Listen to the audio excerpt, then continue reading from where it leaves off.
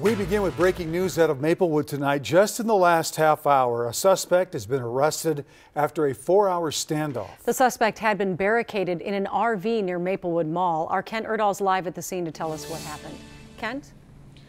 Julie, that arrest comes as welcome relief here after tense several hours. In fact, you can still see the bomb squad is here still. There's still some police presence, but again, there was an arrest. Now, this all is in an area that's pretty popular, at least on a typical day. It's a commercial area just across from the Maplewood Mall here on White Bear Avenue. And this all revolves around an RV. We can show you some pictures of that. It's on the other side from us right now. But that RV, we were told there was a stop, a traffic stop about two miles south of here just after 5 5 o'clock, but the driver kept going while police caught up with him in front of this salon right nearby.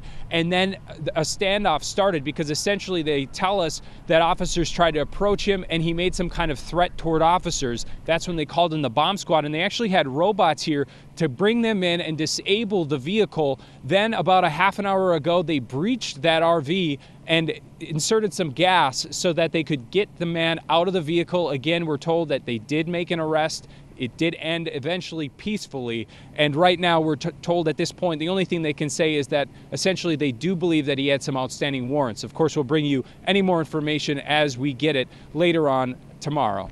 Back to you guys. All right. Thank you.